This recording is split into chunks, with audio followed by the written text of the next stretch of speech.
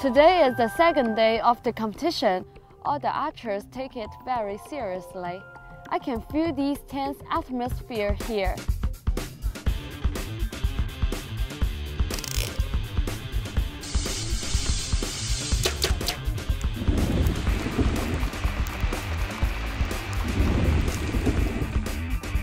That's the one.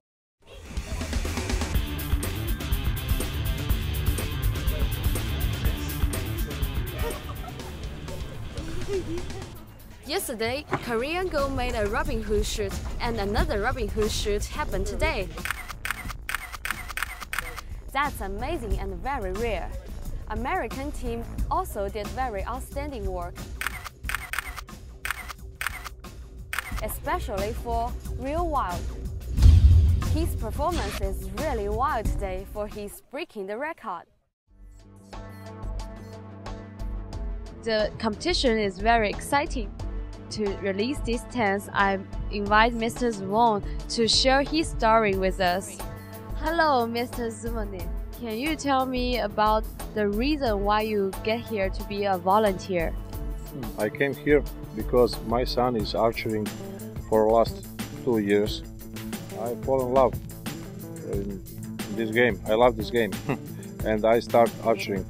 Now I, I'm too amateur archer, and uh, in the club they tell us that uh, uh, federation uh, look for the volunteers for the World Cup here in Porec, and uh, I say okay, this is for me.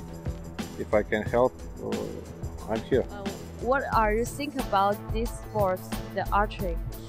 It's a cream of this sport in the world. It, this is a sport for uh, for every kind of the people. I'm also got my problem. I got two metal hips, but I can archery. There's not hooligans, uh, good people. Uh, you can meet only good and better people in this sport. Uh, so I like this sport. Today is also Mr. Zuvanay's birthday. All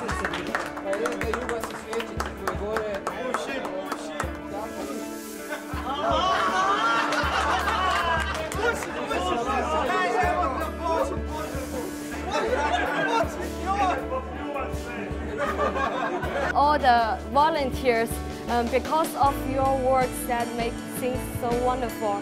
So toast for volunteer spirit. Cheers. Cheers. Cheers.